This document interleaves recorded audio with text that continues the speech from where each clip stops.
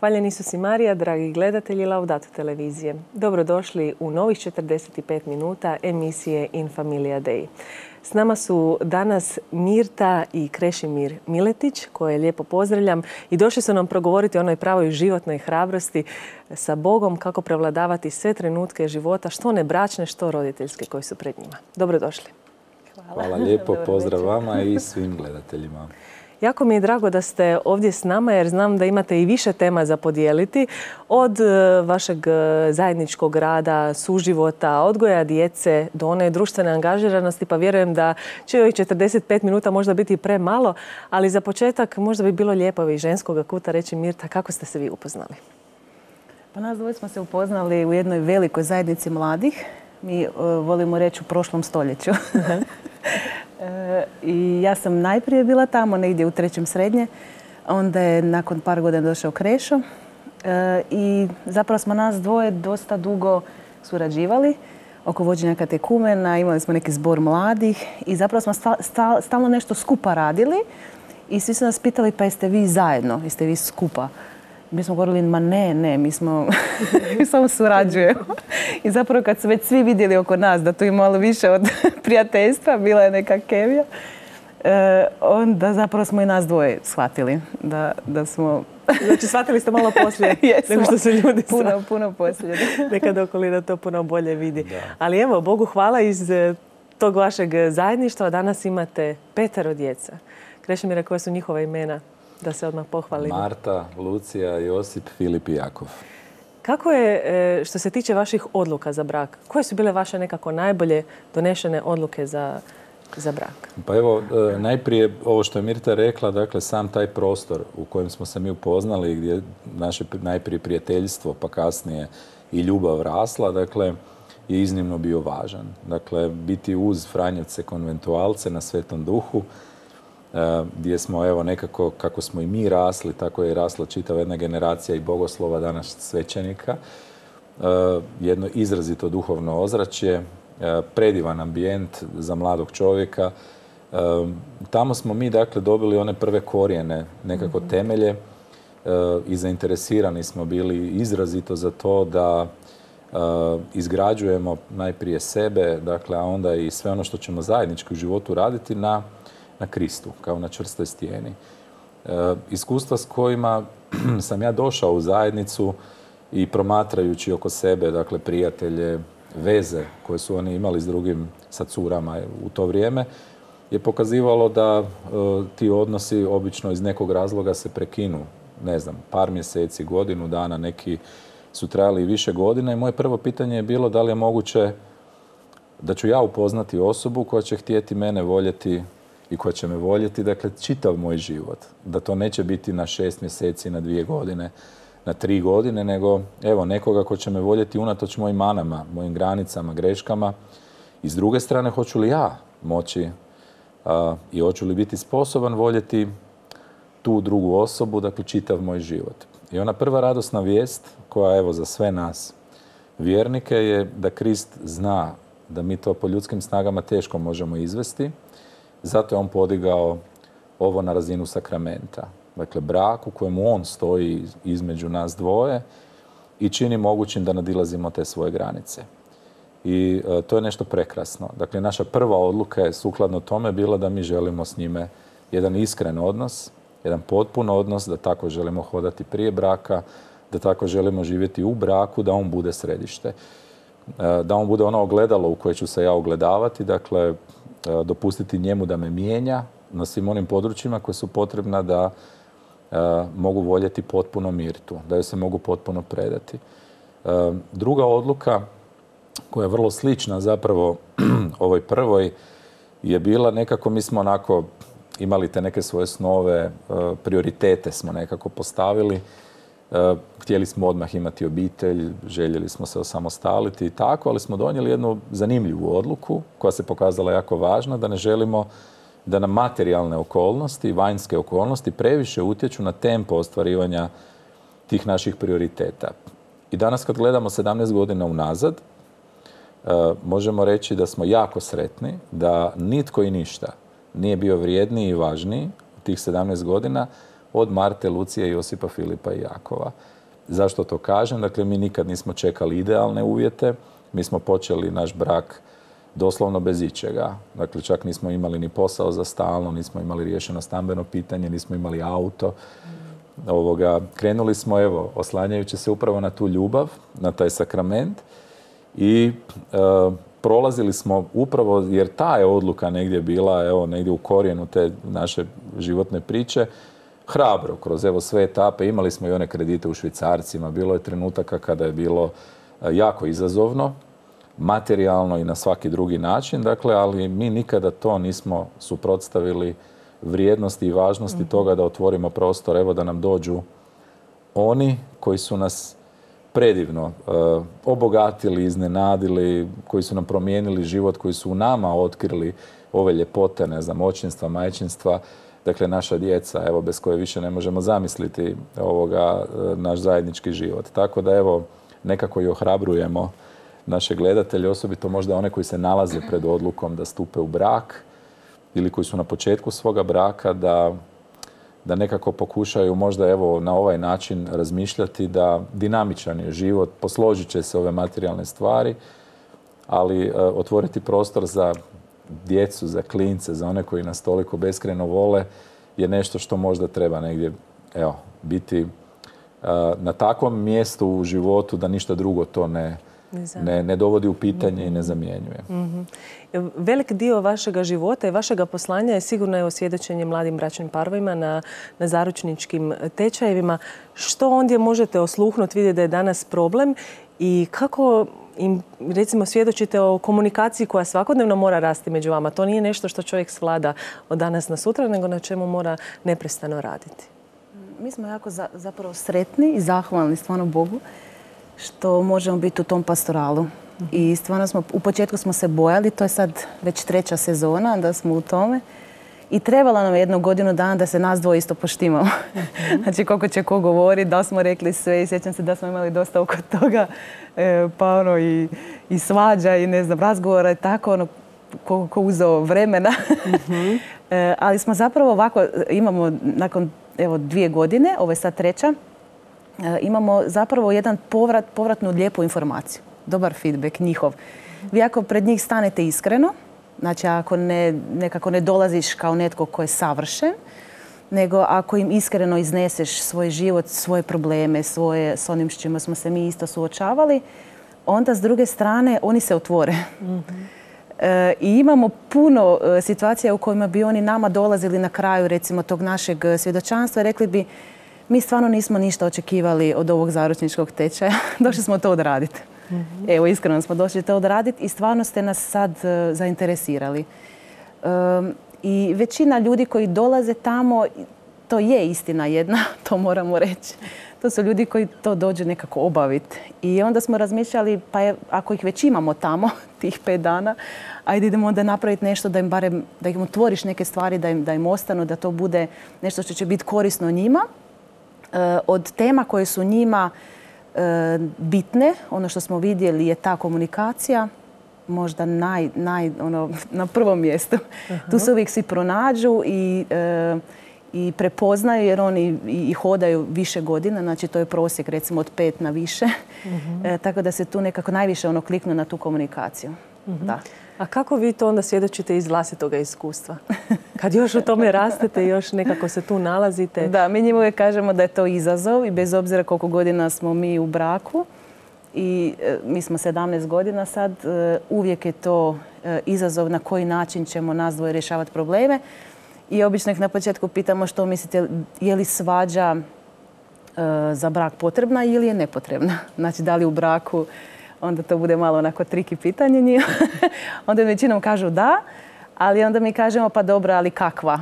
Znači kakva je to svađa? Je li to konstruktivna ili nekonstruktivna? I onda zapravo e, im pojasnimo da je za brak i tekako potrebna konstruktivna svađa.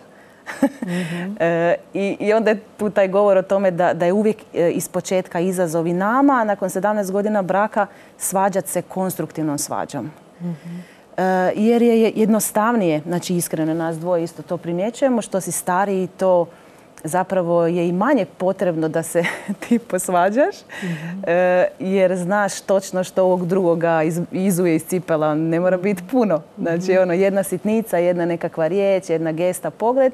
Znači, ovo je drugi gotov. Tako da što si duže skupa ono, i što se bolje upoznaješ, to je onda i brže.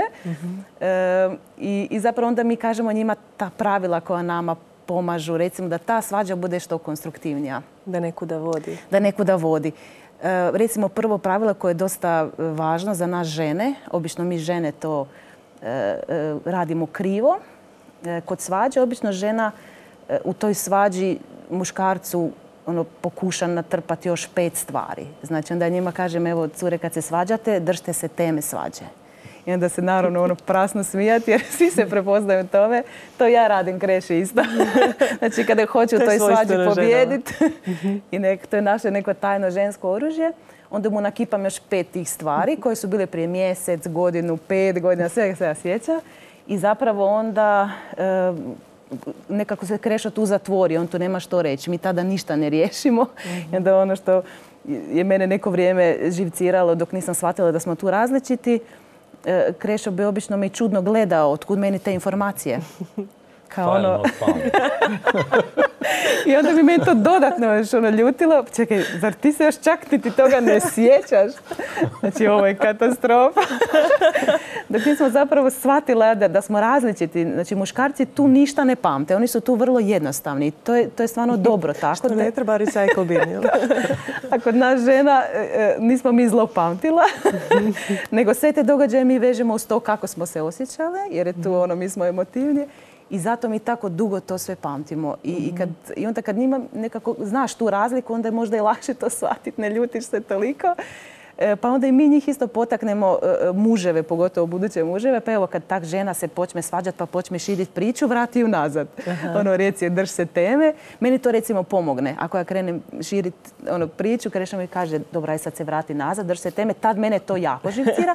Ali se ja Ali zapravo posvijestim. Mi odemo. Kreneš s jednom točkom, odeš na kraju na... Završi na deset. Skroz deset. Ne znamo više u, oko čega smo krenuli zapravo razgovor. A šta je kod muškaraca? Muškaraca bitno? Na što oni trebaju paziti? Pa ovako, dakle, e, meni je recimo trebalo možda dobrih dvije godine braka da ja razumijem zbog čega postoji onaj dobro opjevani, onaj klinč između roditelja i, i nevjeste koja svoje naziv nevjesta crpi iz onog nevješta. Dakle, ona ništa ne zna. Dakle, onda je to tako jedna jedna je tu napetost prisutna koju mi muški teško, teško razumijemo. I sam gospodin je imao potrebu baš nama muškima neke stvari posebno objasniti. Kada je rekao ostavit će oca i majku i prionut će za svoju ženu. Dakle, jako je važno da e, u te naše e, razmirice, dakle traženje rješenja, nekakve probleme, svađe, da ne pletemo roditelje. Da ne pletemo zapravo nikoga izvana, zato što najbolje mi poznajemo što se zapravo tu događa i da držimo da držimo nekako te stvari ovoga da se učimo komunicirati. Evo, brak je dugačak, dakle imat ćemo vremena. I, um, i tu je taj jako važan taj element evo, kojega mi isto naglašavamo. Dakle, tu i oni isto prepoznaju, pogotovo ženski dio publike, onda to jako dobro prepozna, dakle, na koga se tu misli.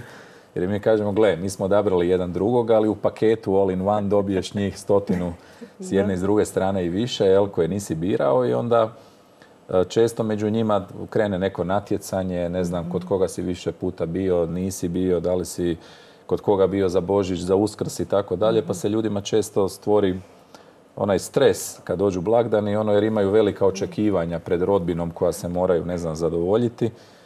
I mi smo to ovoga, e, nakon nekog vremena odlučili da dogovorno, evo, sa, sa roditeljima, naravno da su oni bitni, važni, dakle djedovi i bake su iznimno bitni i važni za za unuke.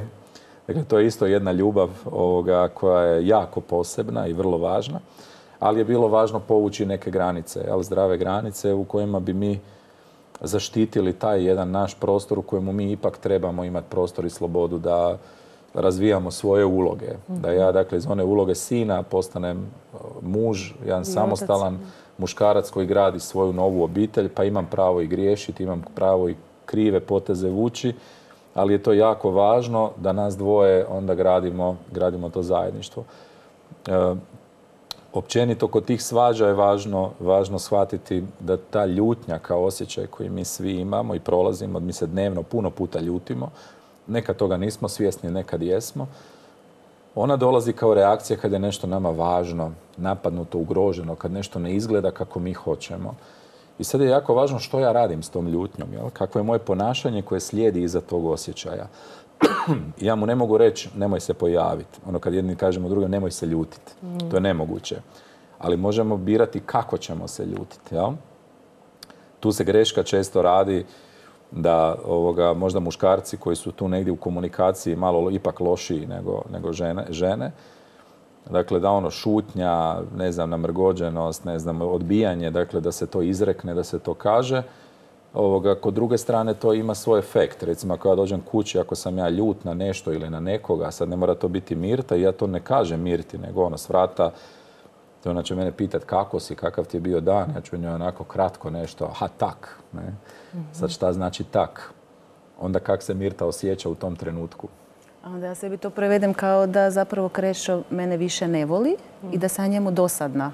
Mhm, kad to Znači, pita, tako, da, tako, tako žena prevede takvo ponašanje ono, muškarca jer nema uvid u njega. A žena ono, voli, znači mora imati uvid ono što je s njim.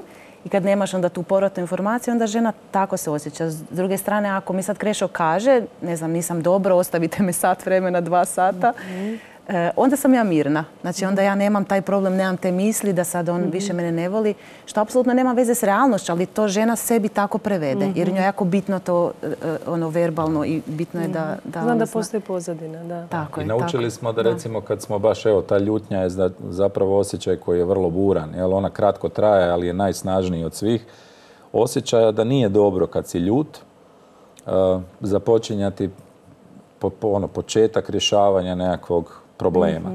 Onda mi ne čujemo jedan drugoga, onda najčešće je to ono sudaranje tih argumenata, tko je u pravu i tako dalje i vrlo često se to završi da se ljudi povrijede međusobno, ne moraju to biti ono teške riječi psovke, ali već i ovako ti znaš, ne znam, reagiraš ono ko malo dijete, a ako mene povrijedi, sad ću ja tebi, sad ću ja tebi nešto reći ovako, onako.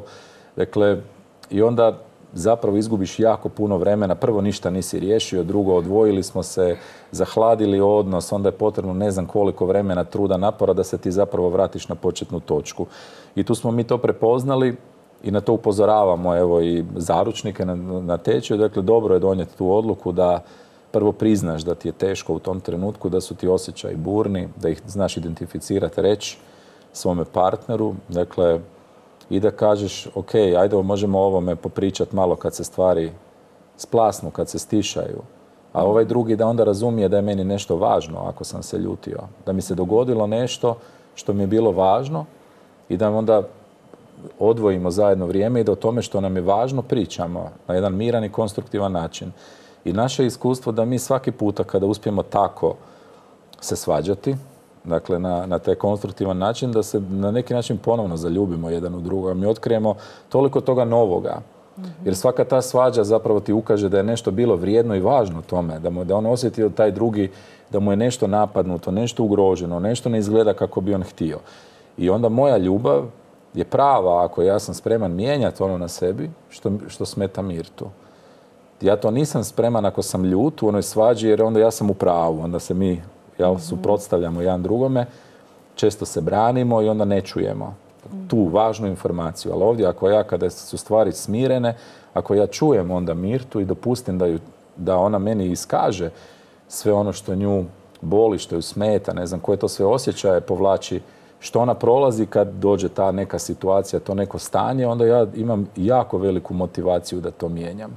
Jer onda razumijem da osobu koju ja volim nešto smeta i boli i onda mene to motivira da to mijenjam. I to je nekako uh, jedan put koji preporučujemo evo svima, dakle uh, nekako ko u sportu, onaj time out kad pozoveš, ne igraju ovi na terenu kako treba, pozove se time out da se zaustavi malo vrijeme, ajmo minutu ono ljudi se stišati i sad napraviti neku taktiku kako ćemo.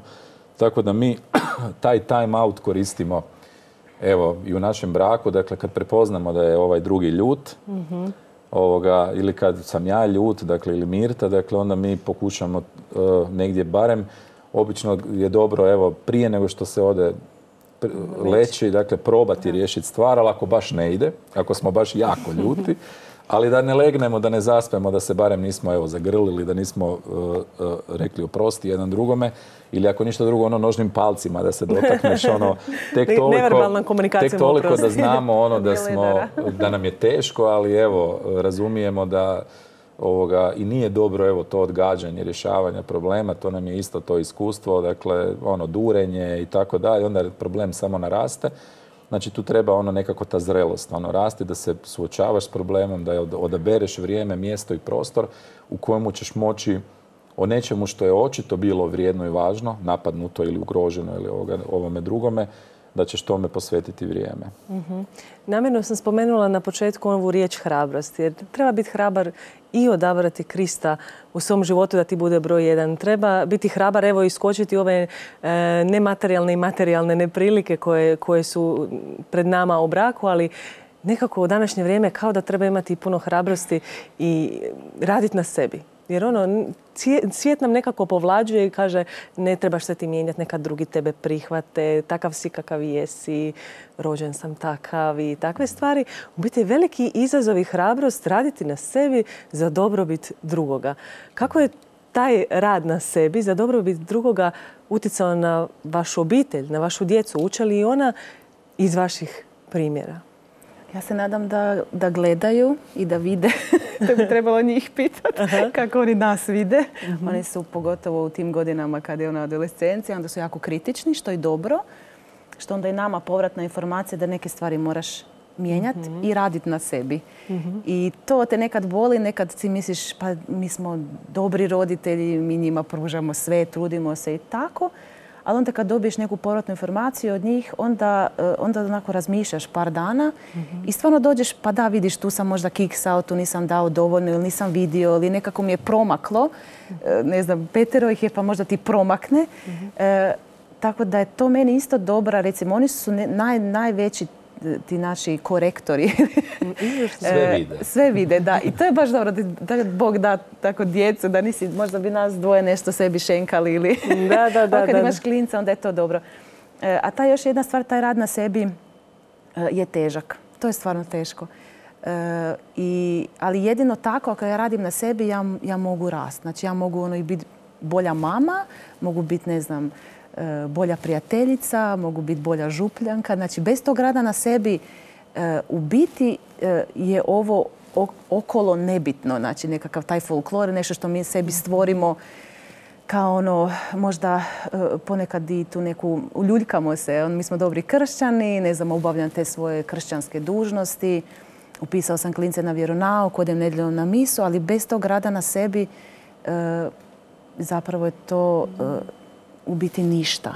Znači, ne događa se ništa iznutra. A e, je, teško je zato što se tiče mene i, zato i teško je zato što to boli mene. zato što ja od sebe otkidam. Ali imam jedno baš lijepo iskustvo da kad god ti nešto otkidaš od sebe, e, da ti onda stvarno, da si onda jako plodan. I to sam skužila koja je zapravo fora daš, svih svetaca, u biti oni nisu imali niti, ne znam, toliko ono, niti društvene mreže, niti su se toliko reklamirali, ali opet su bili magneti i, i često sam razmišljala kako su oni tak bili magneti za ljude, kako bi ljudi dolazili k njima.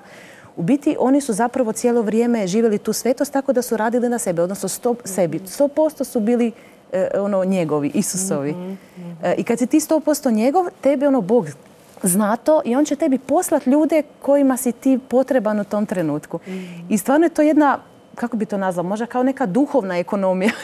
I stvarno sam to iskušala ono, baš na, na, na svom primjeru. Znači ako ja recimo sebi nešto uskraćujem, ne znam, odlučim postit taj dan. I da odlučim se mrtvit, na primjer, Krešo me živcira, ja ću se mrtvit i neću mu ono, ništa odgovoriti. Ono, možda ću, ne znam, ono, prešutjeti ili, ili ne znam, ono, kad u odnosu s djecom možda će mi nešto biti teško, napravit ću, znači svjesno to radim.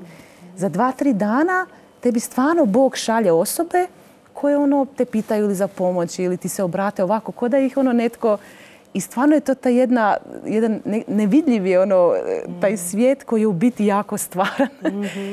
I ta jedna suradnja s Bogom. Znači, to je, e, e, baš, baš funkcionira. Evo, probajte. to je najbitnije, ta, to mijenjanje sebe, ali s Bogom. Da, da, da. Tu je važno napomenuti da e, istraživanja pokazuju nešto što e, će jako zainteresirati muški dio publike. Dakle, da e, očeva religioznost i njegov odnos prema Bogu, prema vjeri, prema duhovnim stvarnostima ima puno veći utjecaj na, na razvoj dječje religioznosti nego li kod majke koji je izraženiji. Dakle, istraživanja pokazuju kod, kod muškaraca, muževa, oni manje to, recimo to možemo vidjeti po zajednicama. Mhm. Često ćete vidjeti više žena, ne znam, u crkvi i tako dalje. Ovi su nešto onako suzdržani i tako.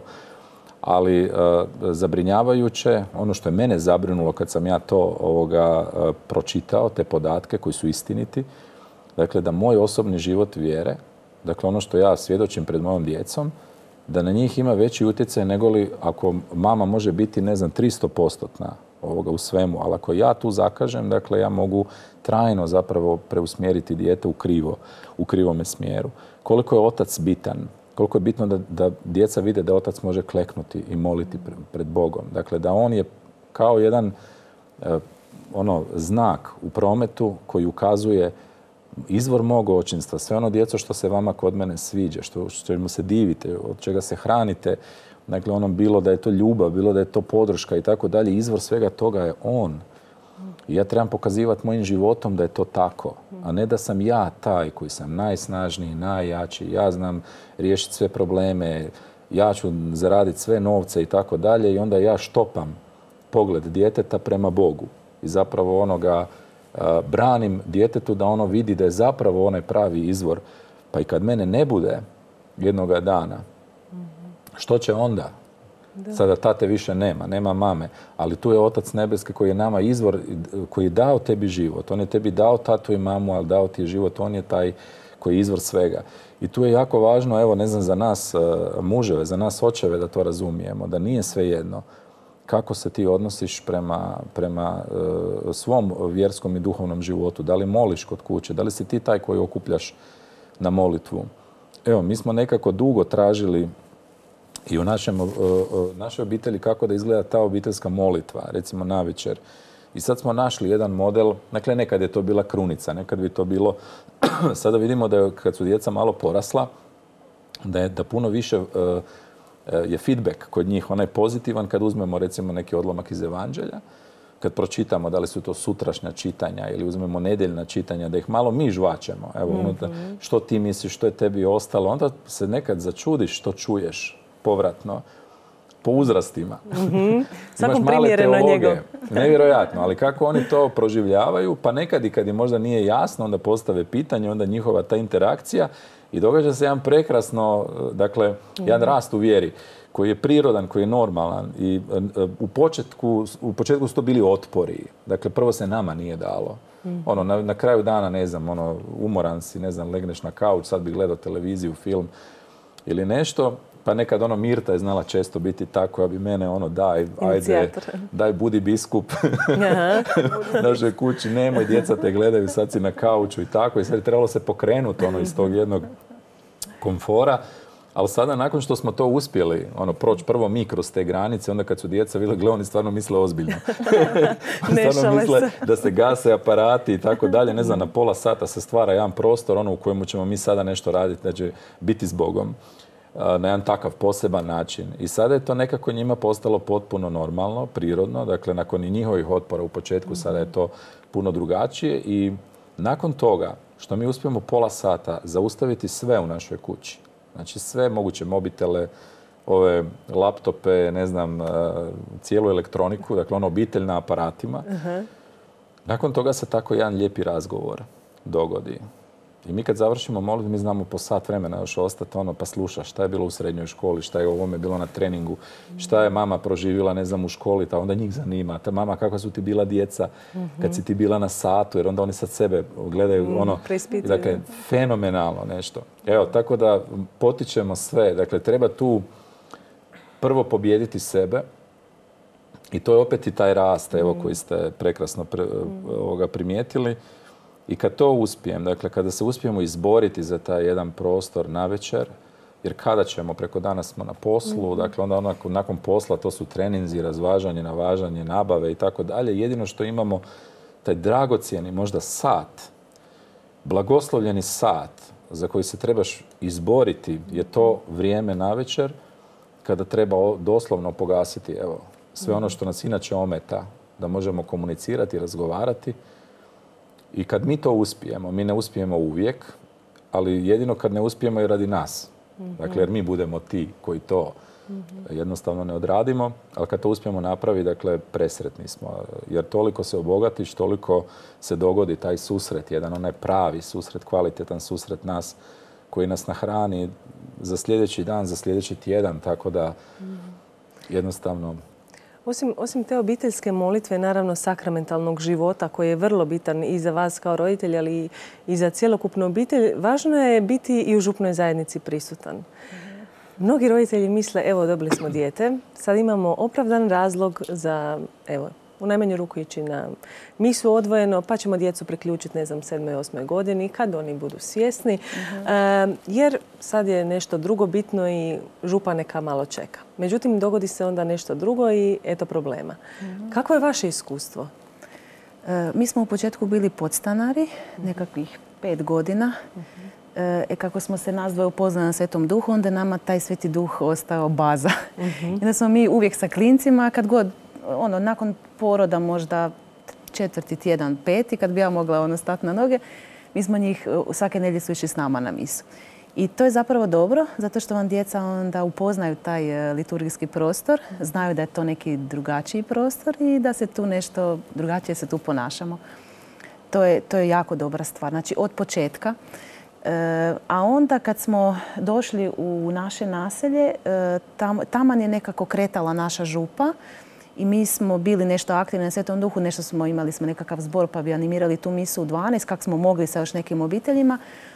E, I kad se osnovala naša župa, onda smo nas dvoje e, sjeli i rekli smo, gle, sad nema smisla e, pjevat ono nedjeljom gdje ima možda pet pjevanih misa, a u našoj župi nema niti jedna. Evo taj dar koji nam je Bog dao, ne znam, uvijek smo pjevali i svirali, pa idemo onda to dati našoj župi. E, onda smo imali isto jednu molitvenu zajednicu, tako obiteljsku. Rekli smo, adi, to ćemo onda isto preseliti u našu župu. Pa ćemo ponuditi, znači sve te neke talente koje smo imali. Nama e, e, je bilo jasno da je zrelo kršćanski, znači jedna zrela duhovnost, ono, ispravna, biti na pomoć, odnosno dati se, dat se u svoju župu s onim što imamo. Ja smatram da bi svaka župa cvjetala. Mhm. Kad bi tako svi župljani sa svojim talentima koje ti je Bog dao, jer to onako nije moje. Znači ja samo to, to je dar. E, ja to samo mogu da dalje. Ako držim za sebe nije dobro. I sad kad bi svako ono tako razmišljao, znači svaki župljan, ja mislim da bi nama župe cvjetale. Ovako nam se događa jedan paradoks zapravo da imaš poseb neka mjesta u gradu gdje su možda mhm. aktivniji svećenici, gdje je, ne znam, dobra propove, gdje e, i onda ljudi odlaze tamo, znači mhm. poslušati, ne znam, nama je recimo problem što mi još uvijek nemamo crku, nego smo u školi, znači u školskom prostoru. I znam da nekim ljudima to smeta i da ne vole ponovno ići u školu. to su već prošli. ali, da, ne da im se opet ići u školu. I to im je recimo razlog zašto onda odu u neku drugu crku. E, mi smo tu skroz nek, jasno ono, to sebi posvijestili. Rekli smo nema veze onako. Biće crkva, ali je bitno da smo mi tu prisutni i da, da, da dam svoje župi, da pomognem župniku s onim što ja imam. E, I stvarno nam se to pokazalo dobro. Župnici se kod nas često mijenjaju e, i ima isto je ta jedna, po meni ono loša stvar da ja mjerim župnike i nekako se aktiviram kako mi se koji župnik svidi. Mhm. Svaki župnik ima nešto drugi nema, znači oni su neusporedivi. Ti ne možeš uspoređivati, ti zapravo uspoređuješ po sebi. da, da, da. da ali, ali ono, mi želimo e, biti na pomoć svakom župniku koji dođe, bez obzira da li se on meni svidi, da li je on neki moj tip ili nije moj tip, da li je duhova, nije duhova, razumijete? To su zapravo po meni svi izgovori zbog kojih ono, ljudi ne žele dati sebe. Ja vjerujem da, da ono svaki župnik bi bio jako sretan kad bi ono tako više ono župljana zapravo davalo ono što imaju, taj talent. Mm. E, I nama se stvarno pokazalo, imali smo i težih perioda i lakših, ali smo ostali. Evo, ostali smo u župi jer smatramo da je to e, nekakva zrela kršćanska duhovnost. E, zato je to tako i formirano. Imamo biskupije i imamo župe, znači nije to bez veze. Ta svaka župa bi zapravo mogla biti jedna ono, baš prava mala zajednica. Da. Tako je. Staviti sebe na raspolaganje bez obzira na to tko će primiti tvoje talente s druge strane je zapravo isto jedan vid hrabrosti. Ja sad samo izlačim iz vas ove hrabre momente i vidim da je tu zapravo puno toga što zapravo iz Krista dolazi. Ta hrabrost i ta, ta odvažnost i, i potpuno predanje opet se ogleda u onom Božjem. Znači, to, svjesni smo da nije vaša snaga, ali je to ono di sjaji vaše, vaše predanje Bogu. Tako, da mislim da je tu jasan, zapravo treba biti meni jasan cilj zbog čega ja radim to što radim. Znači što mhm. mene gura. Ne znam da sad dođem s ovog župniku i kažem gledajte ja bi sad ovo ili mislim da je bilo ono dobro ovo napravimo napraviti ovaj projekt. Mhm. Znači ako, ako u pozadini nije e, moja motivacija Krist koji mene ono gura, e, onda zapravo bolje da niti ne radim. Da. Tako da je dobro isto i preispitat i uvijek se ono preispitat zašto to radim, znači što me, što me tjera. E, a mi smo vidjeli, znači, znači kad ti radiš s Kristom i ako stvarno je to iskreno, ako radiš zbog njega, ne zbog tih nekih ljudskih obzira, ali zbog svoje nekakve ono taštine i oholosti, onda te stvari budu dobre. E, I ti u biti, nas dvoje i nemamo tu snagu. Znači nekad, ja mislim, pa dobro, sad smo uletili u to, pa hoćemo li to moći zgurat. E, jer sa petero djece nemaš sad ti taj luksuz, meni nije dosadno doma da ja sad moram još u župi nuditi neko svoje da, da, da to vrijeme zato što imate viška vremena. Koje nemam. E, ali, ali to vam ide ovako. Znači ti kroz molitvu zapravo Duh Sveti ti daje poticaje i onda ja to provjerim sa svojim župnikom. Ako on da blagoslov, ja kažem dobro, to je to. Može, ako kaže ne, ok. Izvrsno, da. zanimljivo je recimo u tom angažmanu, dakle mi smo svjesno tražili angažman gdje možemo zajedno biti prisutni. Dakle, ono, vidjeli smo oko nas ono da se odvajaju, ne znam, ono, postoje takozvane ženske aktivnosti, jel? muške, dakle, ne znam, djeca tamo, ovi vamo. I mi smo ovoga uspjeli polako jedan koncept prilagoditi zapravo tome da budemo zajedno i da ponudimo i da i druge obitelji mogu biti zajedno. Tako je došao i taj obiteljski zbor kojeg imamo, gdje mi imamo probe u kućama. Dakle, u stanovima. Svaki puta je drug proba kod, kod druge obitelji. Dakle, tu je prekrasno što sama ta obitelj može tim gostoprimstvom što prima druge. Dakle, pa to je najkršćanskije što možemo dati jedni drugima, biti gostoljubivi. Dakle, kad ti nekoga osjetiš u njegovom ambijentu, u njegovoj kući, kad su prisutni svi, i muž, i žena, i djeca, a ne samo jedan predstavnik koji odlazi, ne znam, u ne znam, župni, pastoralni neki prostor. Dakle, s druge strane, djeca su s nama, onda mi na početku uvijek izmolimo krunicu, dakle, djeca zajedno s nama mole s roditeljima, sad zamislite ono 30 osoba u jednoj prostoriji grmi jednu krunicu. Dakle, koji je to dar? A gdje ćeš ti to negdje drugdje zapravo naći priliku da će ta djeca zajedno sa svojim roditeljima, dakle u nekom malome prostoru, negdje gdje e, e, samo se proba za zbor radi u nekoj župnoj, ne možeš.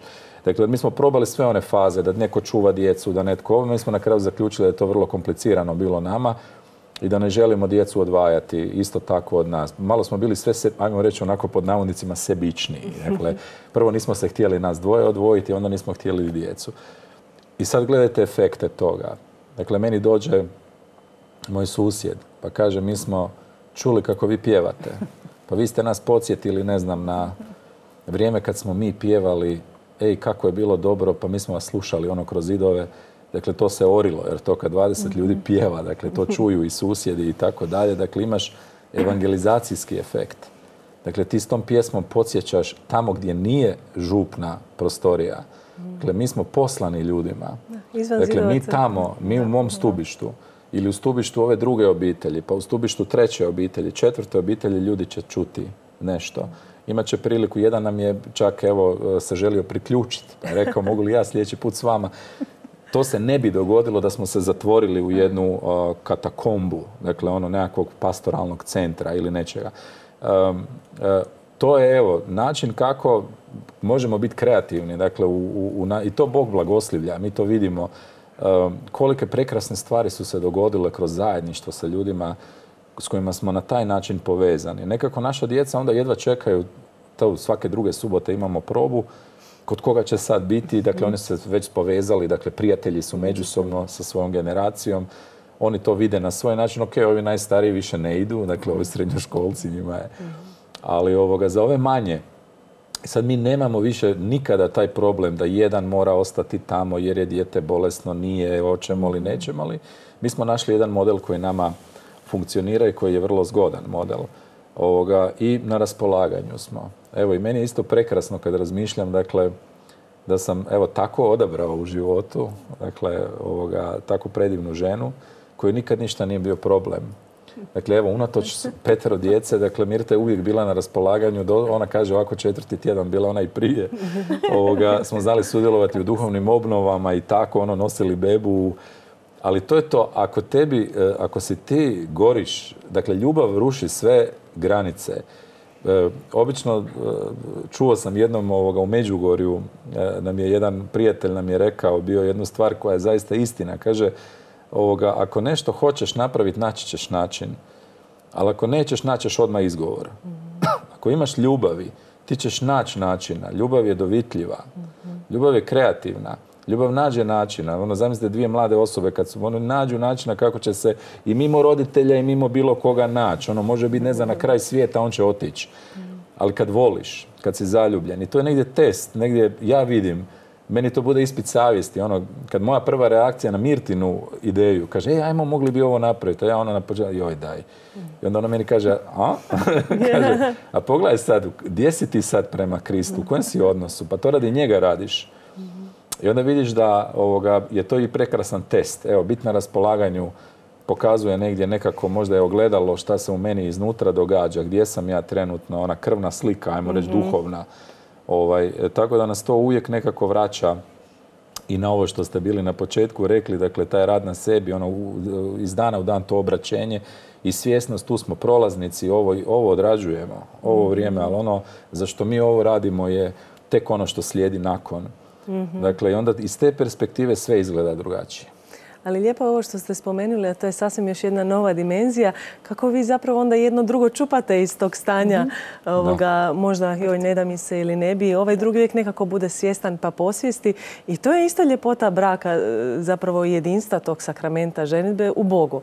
Kad ti onog drugog potičeš i ti si njemu zapravo stepenica u nebo. Jedno drugo vodite, podižete, podstrehujete jeli, i, i dajete si podršku u svemu. Mirta, evo znamo da je Krešimir vrlo aktivan i na društvenom području, ne samo na župnom i to iziskuje i vrijeme i sigurno velika odricana za obitelj. Što vi kao žena kažete i kako ste se s tim snašli? E, pa trebalo mi je vremena. Nisam ja to odmah nekako progutala, trebalo mi je neko vrijeme.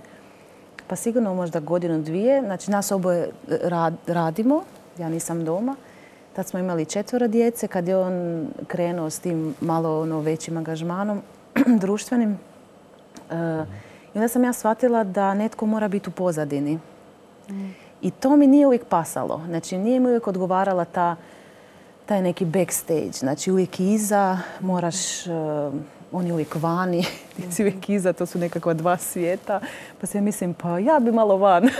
Kao, zašto ti uvijek vani? Evo tebi tu djecu. I tako taj žrvan temeljen, ti sve moraš zapravo iza pokrit. Sve one njihove potrebe, škola, svi su bili već u školi. E, I onda sam zapravo shvatila ovako, ako ja neću biti iza, ako ja neću biti stup, niti on ne može ići van. I u tom periodu e, trebalo mi je dugo, ali zapravo je to bilo evo, kao jedna moja, kao moj doprinos koji možda nije toliko vidljiv e, tome što on radi vani. Jer kad bi ja to pustila iza, mi bi se raspali. I to možda je teža uloga, jer ti nisi nigdje vidljiv, ovo je možda vanjska pa je vidljiva, pa... Traži ono, poniznost Tako je, da, da. E, mhm. Ali, ali s druge strane ja vjerujem, ono što smo pričali o to, to, toj duhovnoj ekonomiji, vjerujem da onda i Krešo mogao odrađivati te zadatke vani zbog toga što je imao e, e, tu pozadinu iza. Da. Mhm. Zadnji put smo u emisiji razgovarali o strahovima. U Hrvatskoj je nekako prisutan taj strah ustati, pa čak i za ono plemenito što si 100% siguran da je vrijedno, kao što je primjerice nerođeni život, kao što je zajednica muškarca i žene kao bračne zajednice. Pa za nešto što je stvarno vrijedno boriti se, sjedimo u kaučima i mislimo, pa neko će drugi, malo se ja bojim reći na glas da me ne bi netko tamo napao. Kako ste vi, Krešimir, to prebrodili? I je li trebalo uopće to prebroditi ili je ta ljubav i žar prema istini bila jača? Pa ja ću opet, evo, ako ja smijem u prispodobama. dakle, pa evo, svaki naš gledatelj koji je roditelj zna kako se jako angažira kada je njegovo dijete u pitanju u školi. Recimo i kako vrlo brzo tamo krene u rat, ne, majmo pod navodnicima reći. ne znam, dobila je jedinicu kćer ili sin ili tako, odmah idem u školu, sad ću ja to odmah ići riješiti, ne znam i tako dalje. Zašto? Zato što voliš svoje dijete. Ljubav je temelj svega. Ako je meni sve jedno, ako ja nemam nikakav odnos prema Bogu, onda meni nije uopće bitno što je njemu bitno. Njemu je bitno da se svi ljudi spase. On čak opisuje vrlo slikovito zgodu i sliku kada se cijelo nebo raduje. Kada? Kada se obrati jedan grešnik. Ne znam, kad, znači, to je jedna radost. Ako ja volim njega, onda mi treba biti bitno kao što sam ranije govorio, ako volim Mirtu, onda mi mora biti bitno i važno ono što je njoj važno. Što je Bogu važno? Da li je njemu važno, ne znam, da, da brak i obitelj budu očuvani? Da li je on to, da li je prvo čudo napravio, dakle u Kani Galilejskoj, da li je apostrofirao, da li on odabrao da dođe k nama kroz brak, kroz obitelj? Jel? Onda mu je to važno. Prva i zadnja stranica, kako je Don Damir znao govori, dakle, Svetog pisma je svadba je slika vjenčanja, crkva je zaručnica. Dakle, ako ja nisam spreman za taj brak se ustati ili za nerođeni život, opet krećemo čiji je taj život. Tko je želio taj život? Pa on ga je dao, on je izvor. On ga ljubi, on je za njega trpio, bio raspet. On je za svako ljudsko biće dao svoj život. To nije za šalice, to je vrlo ozbiljno. I ako ja njega ljubim, pa ja ću se boriti za to, da se, da se zaustavi svako zlo. I to je onaj temelj koji, koji nas potiče. Ako toga nema, onda ću sjediti kući. Onda ja nemam razlog zašto bi išao riskirati vani. Nije ugodno. Ti dobiješ udarce, ne znam, ismijavanja, difamaciju. Dakle, vrlo je to nezgodan teren se izložiti. Pa i čak i unutar krugova ljudi koji te okružuju će oni tumačiti to, jel se on to voli pokazivati, jel on to radi iz ovog ili onog motiva. Dakle, ti ćeš se, ti ćeš se pronaći odmah u toj ulozi ovoga gdje ćete svi odjedanput, ne znam, napast sa različitih strana, osobito ono u toj borbi duhova, znači bit ćeš izložen. S druge strane imat ćeš naravno i zaštitu u kojoj Mirta govori. Ali ovoga, na kraju se uvijek to svodi na ono pitanje, da li ti je stalo? Za onoga koga voliš ćeš se zaista dati. Evo, imali smo domovinski rat. Ne znam, evo, kao maloljetni dragovoljac, jedan mali dio toga sam segmenta i osjetio. Dakle, ali što je tjeralo te ljude da, da stanu u rovove? Jer ovo jesu današnji rovovi. Ovo je rov u kojemu je današnji muškarac, današnja žena. Štititi temeljne vrijednosti. To nije neka ono filozofija, dakle to je vrlo stvarno. Jer ideologije koje zapljuskuju sada Hrvatsku, ne znam, prije su zapljuskivale prije nas, dakle svijet, nose štetu. One imaju ozbiljne posljedice. To nisu samo posljedice toga da li se nama nešto sviđa ili ne sviđa jer se neke stvari promjene događaju, nego one uništavaju ljudske živote. One uništavaju psihu, dušu, ne znam, čovjeka. Dakle, vi kada imate evo rodnu ideologiju, dakle imali ste prije toga komunizam, imali ste razno razne ideologije kroz povijest. Dakle, one i tekako velike žrtve imali. Ovdje nisu samo žrtve toga da ćete vi e, mijenjati, rekonstruirati recimo pojmove e, kao što je to kod rodne ideologije, nego uz to imate milione ubijenih nerođenih. Vrlo krvava revolucija. Jer nama se govori da mi provodimo neku konzervativnu, navodno konzervativnu revoluciju. Ne, ali ova prava revolucija koja odnosi milione života, o njoj nitko drugi zapravo i ne govori, nego, nego ljudi iz ove perspektive, dakle pro-life aktivisti. Ja ako smijem, ja bih iskoristio priliku pozdraviti sve naše prijatelje iz 40 dana za život i svih inicijativa koje se zalažu za zaštitu ljudskog života. To su ljudi koje trebate podupirati, ono, dakle, pomagati, evo, moliti za njih, prinositi za njih, evo, post, žrtvu, što god. Dakle, jer oni su ti koji su, evo, u ovome trenutku možda ona isturena crta, da. ali e, ovo što je Mirta rekla je još važnije. Dakle, ona, ona prava vojska, ona prava snaga su svi oni iz pozadine, dakle, koji drže te, dakle, njihove žene, njihovi, ako su žene u pitanju, njihovi muževi, e, njihove župne zajednice, njihovi prijatelji, svi oni koji stoje evo iza njih nekako i drže ih i to je crkva, to je ljepota tog mhm. zajedništva.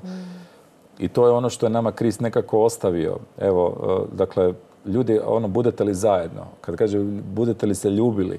Budete li držali jedni druge? Ma nema toga što mi ne možemo Ma ne samo zaštititi, nego i promicati, dakle, učiniti ovaj svijet što bogolikijim, dakle, što, što sličnijim kraljevstvu Božjem. Ovoga, tamani da ne uspijemo. Evo, mi na kraju, e, ovoga, završit ću samo, evo, e, što na, kako mi to gledamo, ne znam, ono na kraju, ja želim da na, u trenutku smrti, da mogu reći ja sam dao sve što sam mogao dati. Onda nemam za čime žaliti. Dakle, tako i u svemu drugome, i u poslu, i ono, u, one dane kad evo ako će kriz doći reći ne znam bio sam gladan, dao si mi jesti, bio sam, dakle to je kriterij po kojem ću biti mjeren gdje ću na kraju završiti. Dakle i sada ako imamo uh, situaciju, ne znam, ono, zamrznuti ljudski životi, ne znam, u, na minus 196 stupnjeva, dakle, uh, zamrznuti embriji, ono, bio sam zamrznut, bio sam u tamnici, bio sam u tom hipertehnološkom koncentracionom logoru. Što si ti napravio? To je bilo u tvoje vrijeme, u tvom gradu, gdje si ti živio. Da li je tebi bilo sve jedno? Da li si se rugao ovima koji su stajali i molili pred bolnicama? Da li su ti oni smetali, išli na živce? Ali ja sam ih poslao. Ja sam htio da netko tamo dođe i da kaže ljudima, ljudi, ali ovo su, ovo su ljudska bića, mi to moramo zaštititi. Dakle, e, to je jedan skroz drugačiji pogled, ali kažem uvijek iz početka e, vraćaš se na ono što je u tvome srcu. Što, ako je u tvojem srcu ljubav, tebi ništa neće biti teško. I mi ovo ne doživljavamo e, ono kao nekakva, ne znam, jako nekad posebna dijela, ajmo to tako reći. Mislim da je to čisto jedan potpuno logičan i normalan odgovor kojeg treba biti svaki kršćanin, svako na svoj način u svom staležu gdje živi. Mi smo pozvani posvjedočiti za istinu. Mi smo pozvani da u svome životu damo svjedočanstvo. I to svjedočanstvo, evo, na nekom, nekada će to biti moj ovaj možda način kako sam ja, ali pred Bogom je možda i još vrijednije tisuću puta ono svjedočanstvo koje Mirta mm. radi. Nevidljiva u pozadini, dakle ona žrtva koju ona daje u, u našoj obitelji. koja podiže. I svi oni, dakle i časne sestre koje mole, svi mm svećenici, redovnici, dakle čita ona trpeća crkva u pozadini, dakle to je ono što Bog dakle i tekako ovoga vrednuje, vidi i priželjkuje blagoslivlja, evo i to ono što nosi našu crkvu. Neka tako bude i neka evo naši gledatelji pronađu se i u ulogama Krešimira i u ulogama e, Mirte kao onih koji evo i ustupaju, koji istupaju u naše ime i naše mišljenje, izgovaraju svijetu, promiče ovaj svijet da bude što sličniji onom Božjem planu, ali neka budu i jaki u molitvi, u postu, u odricanju od sebe i neka tako znaju i taj svijet poduprijeti svojim zaslugom. Evo, hvala vam lijepo što ste bili naši današnji gosti. Hvala, i vama. I vama hvala, dragi gledatelji, što ste danas bili s nama. Evo, skupite hrabrosti i za ovu javnu djelatnost. Imajte hrabrosti i djelovati u župi. Imajte hrabrosti darovati sebe za drugoga, za svog najbližega, ali prije svega imajte hrabrosti mijenjati sebe s Kristom. Neka to bude vaša zadaća do našeg idućeg susreta. Boži blagoslov i doviđenja.